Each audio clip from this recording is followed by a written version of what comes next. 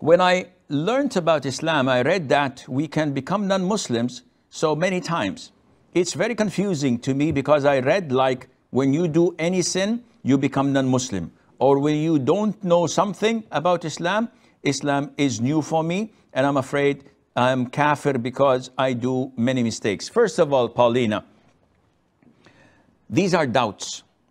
And the only thing that cuts through the darkness of doubts like a knife is knowledge. If you acquire proper knowledge about your religion, you'll be safe. Shaitan, Satan, won't be able to trick you or play with you like children play with a football. And how to do that? To acquire knowledge about your religion, to read the Quran, understand it, ask when you don't know, like you're doing now, Alhamdulillah.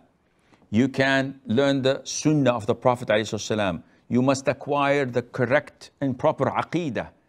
In Aqidah, it tells you that part of our Aqidah of Ahl Sunnah wal Jama'ah that we do not nullify a Muslim's Islam with any particular sin that he commits it unless it nullifies Islam. So if I smoke, do I nullify Islam? No, definitely not. A person who fornicates, who consumes intoxicants, who steals, who, these are major sins. But do they breach and nullify his Islam? Nope. So this is point one. Now, there are sins that go against Islam. So, someone who believes in sorcery and deals with it, this nullified, it's an act of apostasy. Someone who calls other than Allah, hoping that they would benefit him or prevent harm from falling upon him.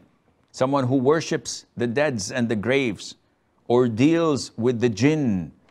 All of these things take a person out of the fold of Islam. But sins normally are sinful and they gain will gain you a lot of bad deeds but you are still a muslim. As long as you repent you seek allah's forgiveness you express remorse and do good deeds allah would forgive them with the grace of allah. So don't be afraid. Acquire knowledge and ask always about your religion in order for you to know what's right and what's wrong.